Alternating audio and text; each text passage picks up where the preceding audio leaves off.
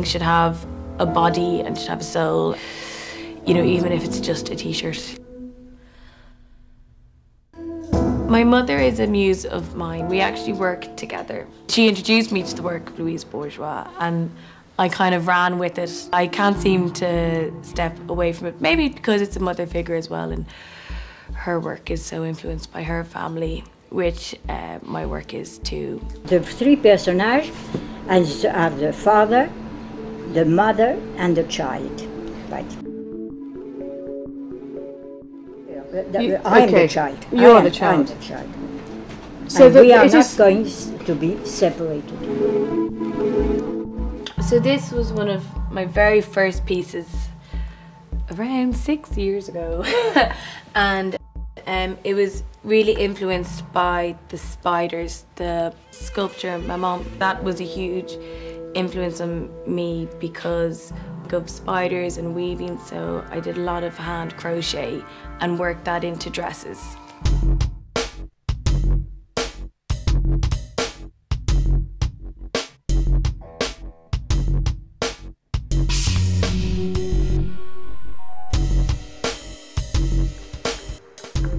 What I really love about her work is the textile element and the tactile element and how it's so obviously related to her as a subject. Art is a guarantee of sanity.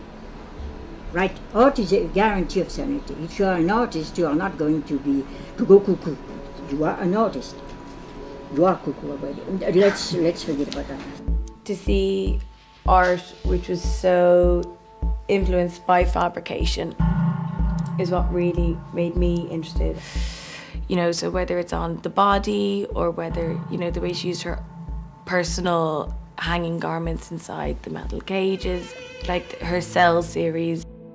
And I really thought that was really exciting because I think it gave clothes and fashion real content. This uh, drawing, Blue Dress from 1998, the skeleton is exposed inside and that kind of exposing goes through all my work. Instead of obviously exposing the bones, I've ex- exposed the interiors of the garments. So things like uh, tailoring all the canvas traditionally inside pieces can all be seen like trapping the lace within the plastic plastic but it's that whole feeling of trapment and bound and bound family body you know all that